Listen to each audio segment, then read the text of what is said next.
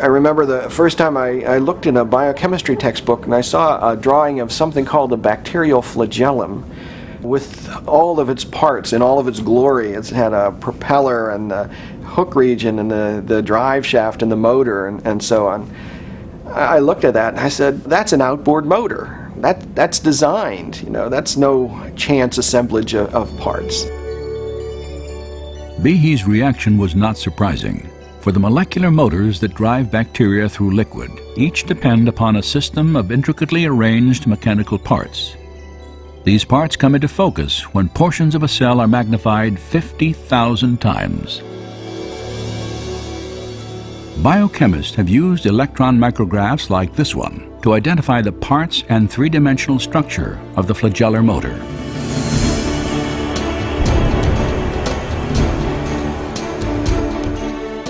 In the process, they have revealed a marvel of engineering on a miniaturized scale. Howard Berg at Harvard has labeled it the most efficient machine in the universe. These machines, some of them are running at 100,000 RPMs and are hardwired into a signal transduction or sensory mechanism so that it's getting feedback from the environment and even though they're spinning that fast, they can stop on a dime. It only takes a quarter turn for them to stop and shift directions and start spinning 100,000 RPM in the other direction.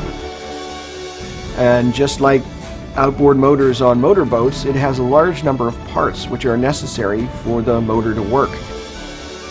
The bacterial flagellum, two gears, forward and reverse, water cooled, proton motive force, it has a stator, it has a rotor, it has a U-joint, it has a drive shaft, it has a propeller, and they function um, as these parts of machines. It's, you know, it's not convenient that we give them these names. That's truly their function. Since its discovery, scientists have tried to understand how a rotary motor could have arisen through natural selection.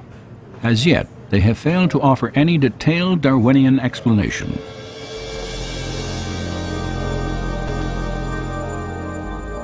To see why, we must understand a feature of molecular machines known as irreducible complexity.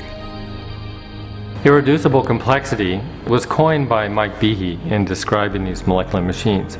Basically what it says is that you have multi-component parts to any given organelle or system in a cell, all of which are necessary for function. That is, if you remove one part, you lose function of that system.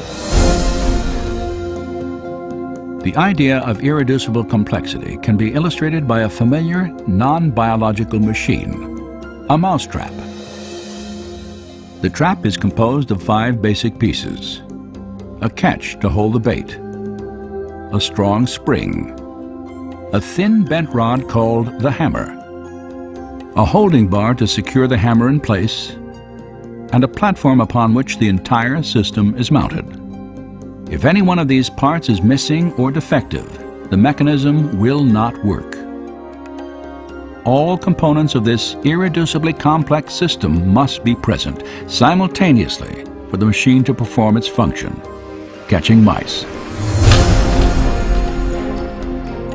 Irreducible complexity also applies to biological machines, including the bacterial flagellar motor.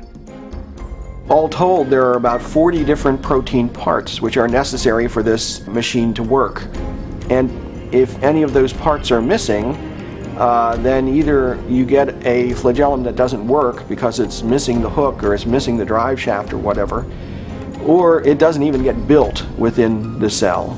In evolutionary terms, you have to be able to explain how you can build this system gradually when there's no function until you have all those parts in place.